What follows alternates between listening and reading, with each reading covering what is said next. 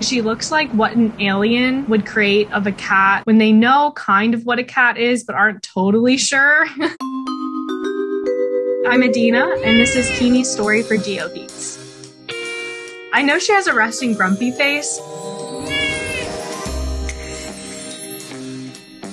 So to everybody, she just looks grumpy all the time, but I can tell like her different faces.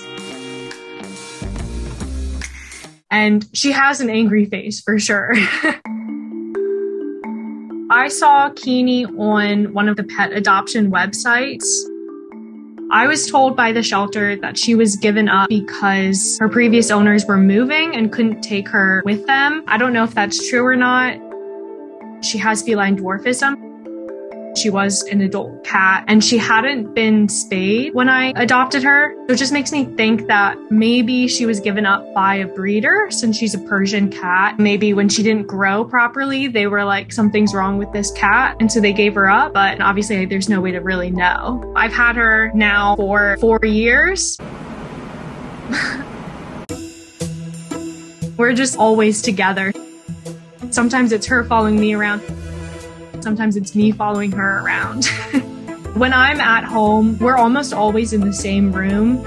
I spend a lot of time sitting on the floor with her too. I often eat my meals sitting on the floor next to her. All she wants is attention, so she'll run up to me and just start yelling until I pet her. Oh, you're purring already.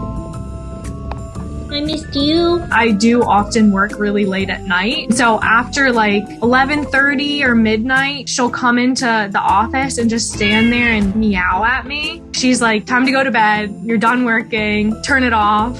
And it's so funny because she won't do that if I'm not working. Like if I'm on the couch watching a movie late at night, she kind of like waddles a little bit. I guess because she's so short.